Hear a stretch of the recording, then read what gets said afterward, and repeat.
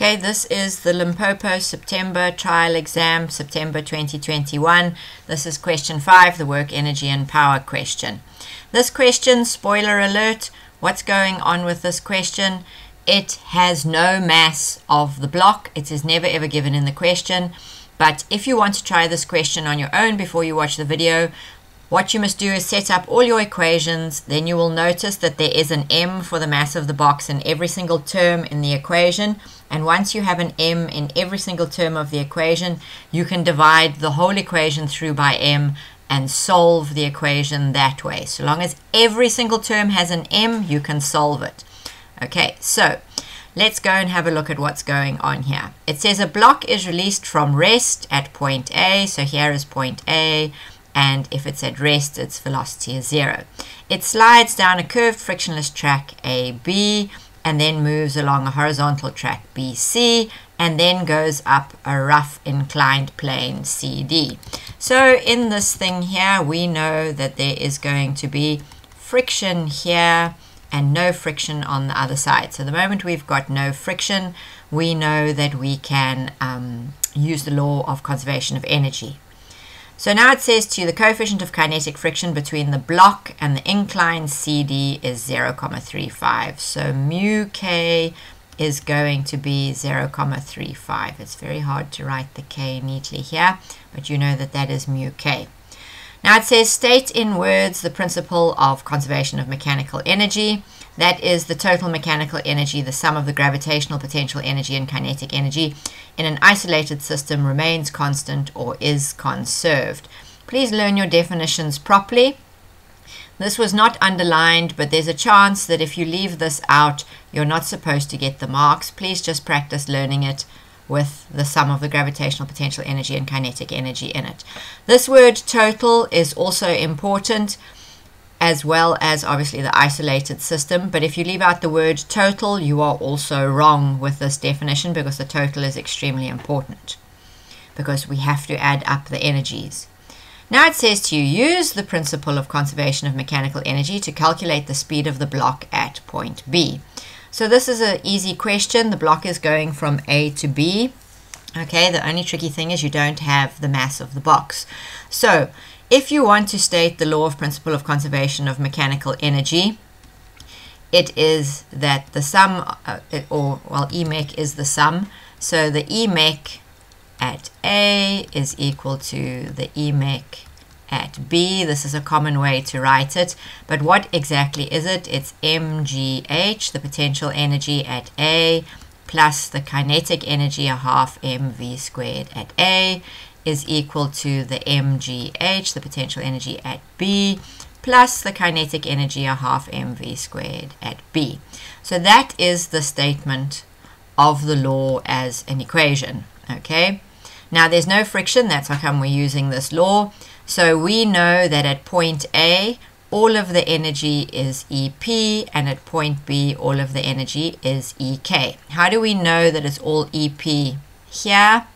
It's all EP at here because the block was released from rest. So immediately at A, I'm going to say that my kinetic energy is zero. You can write a half mv zero squared, but I'm just writing zero for space reasons. And then we have assumed that this level surface here is my zero reference. Okay, so in terms of my zero reference for this question, it is going to be m, g is 9.8, and my h is 5 meters, okay? On the other side, at point B, the mgh at B is going to be 0. You can write mg0, but I'm just writing 0 for space, plus a half m, and then it says the v squared at B, which is exactly what we are trying to calculate, okay? So if you plug this into your calculator, you will get 49m equals a half mv squared. Okay, if you take the half over, you end up with 98m equals mv squared. And at this point, all you do is you say to yourself, there is an m on both sides of the equation. I am going to divide both sides of the equation by m, and I'm left with 98 equals v squared. So v is going to be the root of 98, which is like 9,89 something, something, and it rounds up to 9,90 meters per second. And so that is the speed of the block at B, and because it says speed, we don't need to give uh, direction. Okay, now the second part of the question is a little bit more tricky. You see it's six marks. It says using energy principles, calculate the maximum height h reached by the block. So it's this height over here. Okay, so now there's a bunch of things going on here that we have to pay attention to. First of all, it wants you to use energy principles. Okay, so what we are going to use is we are going to use W net equals delta EK. Okay, the net work done on the block is going to be equal to the change in kinetic energy. So obviously the maximum height reached by the block. What's going to happen is this block comes sliding down here. All its potential energy gets converted to kinetic energy and it's traveling at a speed of 9,9 meters per second when it hits point B. Now there is no friction between B and C, so it just keeps going at the same speed. Then it hits point C, okay? And now there is a force acting on the box. Another force has come into play, and that is the force of friction. So friction is slowing the box down, and then when the box gets all the way up to this maximum height, at this maximum height, its V has gone back to zero, okay? And it'll stop there momentarily, and then gravity will take hold and it'll slide back down the slope. So once you've pictured in your mind what the box is doing and where the energy is going, you need to also, because we're dealing with work, work is the force times the distance moved. So what we should do is we also need to bear in mind that when we're using energy principles, we're going to say that the work done by a force is equal to the force times the displacement times the cos of the angle between the force and the displacement, okay? So the work done is F delta X cos theta. So if we've got a force, we now need force diagrams, okay? So if we look at this box, what forces have we got acting on this box? We have got the force of gravity acting downwards. It is on a surface, so we immediately have the normal force. And then we have friction, okay? So the block, the box was going up the slope originally, and then Friction opposes motion, so the force of kinetic friction must be down the slope. So we have three forces here, okay? So we're going to end up with an equation that if we do the W net equals delta EK, we know we have to find the work done by the weight plus the work done by the kinetic friction plus the work done by the normal force, and that is going to be equal to the change in kinetic energy. So for all of these, we have to work out the F delta X cos theta for every force. Now the normal is easy. The normal is at 90 degrees and the cos of 90 is zero. So the work done by the normal is always going to be zero, okay? The change in kinetic energy is also easy. We know that when the block re reaches maximum height here at point D, its velocity will be zero. It will temporarily stop there, okay? So my final delta EK is going to be a half mv squared F minus a half mv squared I, okay? So this is going to be 0 minus a half mv I squared. But this a half mv I squared is the same as what it was at B over here. Can you see it B over here? This half mv squared at B is the same as the half mv squared at C. Okay, so we could immediately come and write in here minus 49m. So this side of the equation is going to be minus 49m. Now this question takes quite a bit of explaining. Okay, so I'm just going to rub out some of the stuff here so that we can have enough space to do other things. Okay, but we've got this 49m equals a half mv squared, which is a very important part of this, okay? So let us have a look here at what other things we've got going on here. I hope you've all been following what happened here. So we're going to go back. Let's rub out this half of this. let us go back and look at the second half of the box here. Okay, we've worked out the three forces. You're fine with the force diagram. I hope that we've only got three forces acting on the box. Okay, so what we need to also look at here is the fact that where is the box going? Whenever we have a force, we also need to look at how far the force is moving. Because remember, it's F delta x. Now this delta x is now what we must look at. And the delta x, this is not a good pen, the delta x here over here, this is going to be the delta x, the distance it moves along the edge of the block. We've not been asked to calculate delta x though. We've been asked to calculate this h. There's no ways we can get to the, delta, the h without finding delta x. So we're going to find delta x and then if you can see here we have our friend the right angle triangle. Can you see our friend the right angle triangle over here? And with our friend the right angle triangle, if we say sine 30 is equal to opposite over hypotenuse, it is going to be equal, h is opposite and delta x is the hypotenuse. So h is going to be delta x sine 30. Okay, so that is what we are going to use to figure it out in the end. So let us then figure out everything in terms of delta x. So if we want to figure out stuff in terms of delta x, we have this, we have these other expressions that we need to, to find, okay? We agreed that we had these three forces, the work done by the weight, the work done by the friction, and the work done by the normal. So the work done by the normal we've sorted out. Let us look at the work done by the weight, okay? So if we look at the work done by the weight, it's going to be the force times the displacement times cos theta.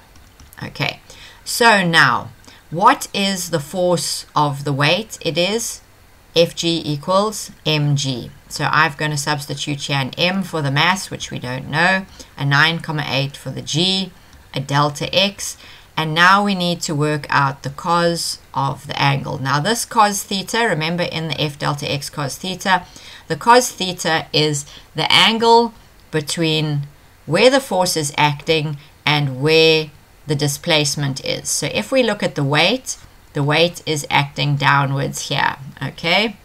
So can you see the weight is acting downwards here? Where is the box going? The box is going up the slope, yeah? This is the direction of motion. So, by the powers invested you by geometry, you know that this is 30, which means in a right angle triangle this is 60. So if I swing the force of the weight into the direction of motion, what is the angle between this force which acts downwards and the direction of motion? Can you see there's a straight line here? So this angle is going to be 120 degrees. The weight must turn through 120 degrees to be displacing in the direction of motion. So we are going to go here m 9.8 delta x cos 120. Okay, that is what we're going to do with the weight. Now, what are the other forces that we've got here? We've agreed that the normal is um, at 90 degrees to the direction of motion. This is the direction of motion. So now we need to look at friction, okay? So we're going to do the same thing with friction. What is the work done by the friction? It's going to be the force of friction times delta x times cos 180, okay? So the force of friction, delta x, cos 180, because friction always opposes motion, so there's always 180 degrees between the force of friction and the direction of motion. Okay, so let's go and have a look here. What do we need to know about the force of friction?